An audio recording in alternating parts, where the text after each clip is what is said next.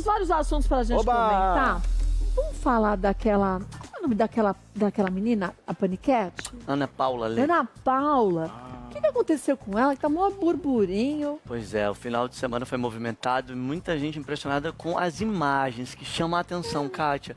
Porque uma moça bonita, conhecida porque ela trabalhou como assistente de palco, né, no programa Pânico, é muito conhecida como modelo. Mas o que, que deu nela pra fazer Ela isso? surtou. Então, ao que parece, pode ter sido um Ó, surto. ó. É, Ela um bateu no policial? policiais. Aham. O Ela briga com os policial. policiais. É, e é uma agressão, assim, que o, fato anterior é que ela chega na lanchonete do posto de conveniência, pede um salgado e uma bebida e reclama da comida. Fala, o salgado tá ruim e pede pra trocar. Só que, de repente, ela sai sem pagar. E aí o pessoal, obviamente, faz a reclamação, aciona a polícia. E ali, nem com a presença da polícia, ela se intimidou. Pelo contrário, ela foi pu- pra Pra agredir cima, o pra agredir policial?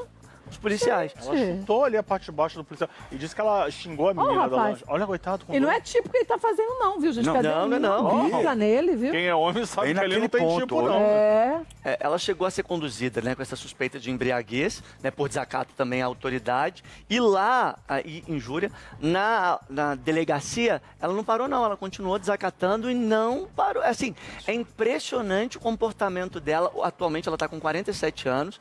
Assim, já é uma E mulher formada. colocarem ela no carro, o trabalho que deu? Sim, Olha três só. homens, Que tá falando. absurdo. Mas o que que era? Era bebida? Ela usou alguma Era coisa? droga, sem remédio? É, então, que que eles até colocaram É, é, nossa, esse né? pedido aí para justamente ter é, um laudo, algo que demonstre se tem. oh, exato. É, tá certo, Fazer o né? toxicológico para saber se teve influência.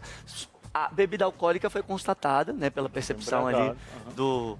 É, Do agente ali, do policial? é, do Mas agente também, policial, né? mas na hora que ela estava falando, deu para perceber. Agora, o toxicológico vai é, conseguir demonstrar. Até o momento, eu estava tentando atualização sobre o caso, ela também foi procurada por vários veículos e não retornou o contato, tá? Então ela não se pronunciou. O que se sabe é que foi feito o exame toxicológico, mas que ainda não foi informado se teve é, presença Então de outras presa, substâncias.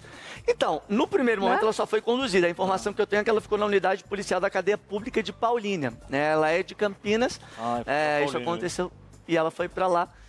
E aí, o, Ricardo está me atualizando aqui com a informação de que ela recebeu, é, vamos dizer, o benefício de pagar a fiança de um salário mínimo e foi liberada.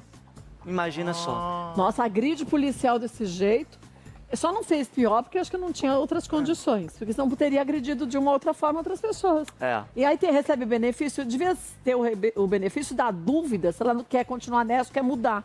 É o único benefício que pra mim caberia pra ela, Gente, não é? 47 anos. É, menina. Ô, velho, isso aí tem Ah, que tomar uns riega, remédios. quase meio E as século. pessoas trabalhando. A menina da lanchonete que ela discutiu, brigou, foi extremamente grosseira. Trabalhando, Então. no sábado à noite, a polícia trabalhando, e ela vai lá e faz esse papelão de desacatar e faltar ao respeito. E pra parte. Ela foi pra violência Então, mesmo, né? E por que, que eu falo quase meio século? Porque eu tenho 55 É. eu estou no meu. Na, como é meu poder de fala? Você tem lugar de fala. Eu tenho lugar de fala. Porque eu tenho Até 55. mais, você já tá no Já lugar tô além, outro lugar junto. 10% a mais. É. Gente, pelo amor de Deus, quando a gente vê que a gente não está tendo equilíbrio, busque uma Trata, ajuda amor. profissional. Trata. Na verdade, todo mundo tem que buscar ajuda. Que você acha que tem alguém tão bem resolvido que sabe resolver tudo na vida? Não.